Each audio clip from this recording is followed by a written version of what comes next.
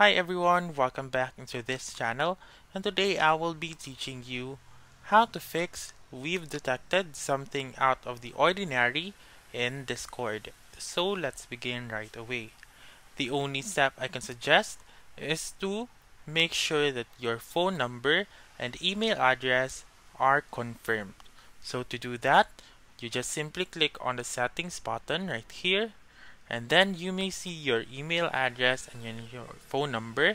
In case you forgot, you may simply click on reveal and also you may click on reveal right here and then make sure to go to that email address and to that phone number so that you may confirm them.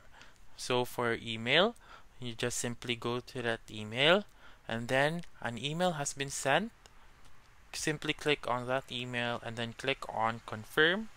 And also for the phone number you just need to input the code that has been sent to your phone number.